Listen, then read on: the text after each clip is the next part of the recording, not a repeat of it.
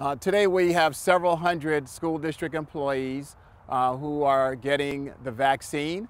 Uh, we are very thankful for the collaboration that we have with the Florida Department of uh, Public Health in Broward County, in particular Paula Thaqi and all of her staff.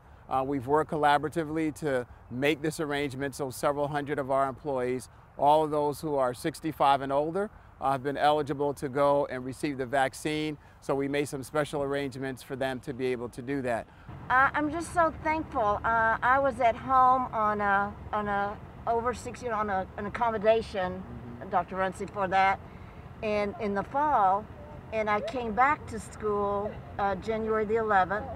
So I've been back two weeks, and I'm 66 years old, and I'll be 67 next Saturday and I'm, I'm just so thankful to have this, you know, just the security and the, you know, the health benefits of this to protect me and my students and my family. So this was a, a convenient way to get this done.